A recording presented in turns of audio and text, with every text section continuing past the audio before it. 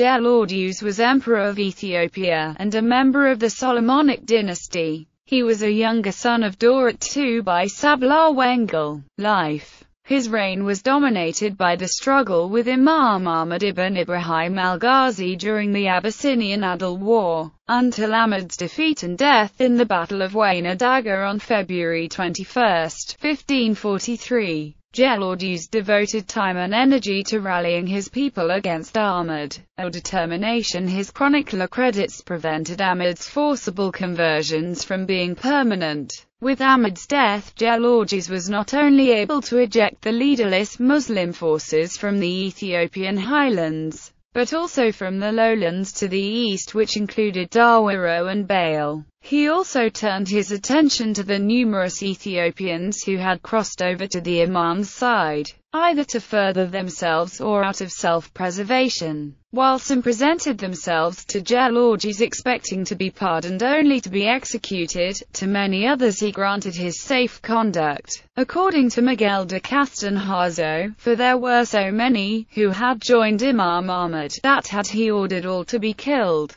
he would have remained alone, however, while campaigning against the Aga Fingojam. Nur ibn Mujahid had once again invaded Ethiopia. Gelawdewos's vassal Fanuel succeeded in repulsing him, but the emperor followed up with a further attack into Muslim territory, plundering the countryside for six months. At one point he captured Harar, where Sultan Barakat ibn Umar Dinavadal was killed, the last member of the Walashma dynasty. According to a Harari chronicle, Gelawdewos was killed in battle. Early in the engagement Gelawdewos was hit by a bullet, but continued to fight until surrounded by a score of Harari cavalry who struck him fatally to the ground with their spears, according to Pankhurst. Emir Nur had the emperor's head sent to the country of Saad ad-Din, then rode off to plunder Ethiopian territory before returning home. The explorer Richard F. Burton tells a slightly different account adding that Gelawdewos had been supervising the restoration of Debre Werq when he received a message from Emir Nur challenging him to combat. When the emperor met the emir, a priest warned that the angel Gabriel had told him Gelawdewos would needlessly risk his life, which caused most of the Ethiopian army to flee. According to G. W. B. Huntingford, Gelawdewos' body was buried at Tadbaba Maryam and his head, which was brought back to Ethiopia by some traders, was buried in Insakya, in the tomb of St. Gelawdewos. Foreign relations the first problem of foreign relations Gelawdewos had to deal with following his victory at Wayna Daga was João Bermudes, a Portuguese priest whom his father had sent abroad as his ambassador to secure help from Portugal. Bermudes had represented himself in Europe as the properly appointed Patriarch of Ethiopia, and once he returned to Ethiopia, he claimed he had been appointed by Pope Paul III as Patriarch of Alexandria. A surviving letter dated 13 March 1546 from King John III to Emperor Gelawdewos, translated by Whiteway, is a response to a lost letter wherein the Ethiopian ruler asked, in essence, who is this Joao Bermudes fellow, and why does he behave so irresponsibly? King John's answer was frank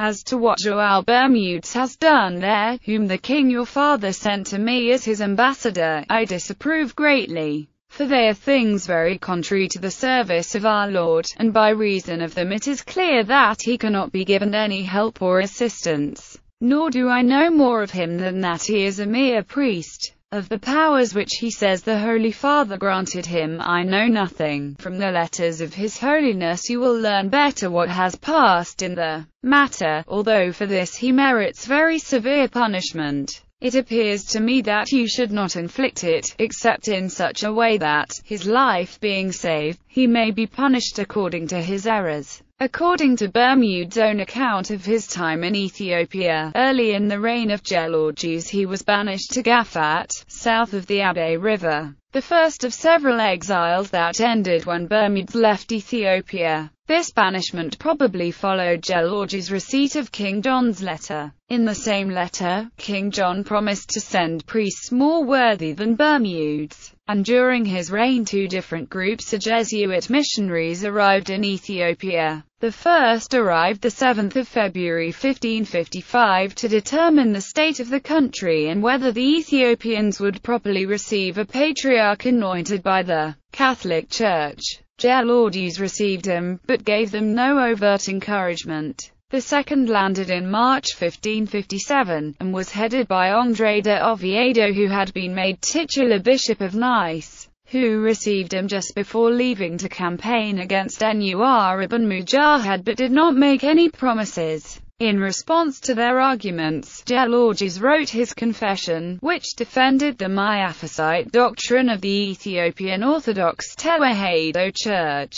According to Richard Pankhurst, Gelawdewos' confession helped his fellow Ethiopian Christians to remain steadfast in their adherence to Sabbath observance, circumcision, and the prohibition against pork and other unclean foods. Ethiopia's access to the outside world was severely crippled during his reign in 1557, when the Ottoman Empire conquered Massawa. From that point forward, dignitaries and missionaries to Ethiopia had to travel in disguise to avoid Muslim authorities. This also allowed the Ottomans to block the Ethiopians from importing firearms.